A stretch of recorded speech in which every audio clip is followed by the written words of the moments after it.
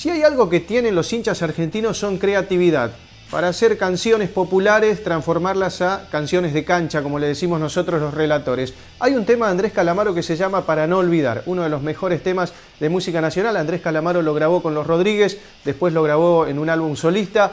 Alejandro el Papu Gómez retrató esta imagen cuando salía el plantel desde el estadio de Wembley, dedicatoria especial para Brasil, el gran rival de Argentina, sin duda futbolísticamente hablando.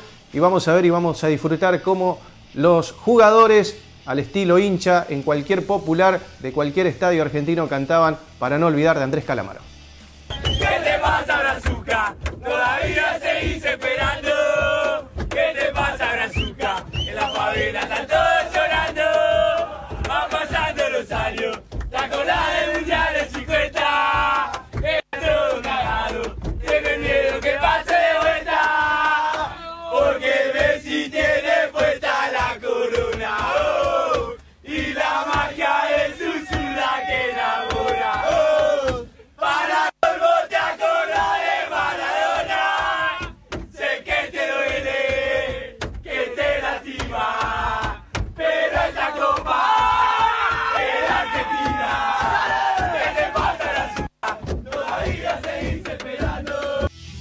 El festejo de los futbolistas argentinos después de ganar la finalísima próximo partido de Argentina el domingo va a estar jugando en Pamplona frente a Estonia a las 3 de la tarde, un amistoso. Se pusieron en venta las entradas desde el miércoles, primero para los hinchas de los Asuna, que ah, ya vendieron más de 10.000 entradas en un estadio que tiene una capacidad para 23.000 espectadores.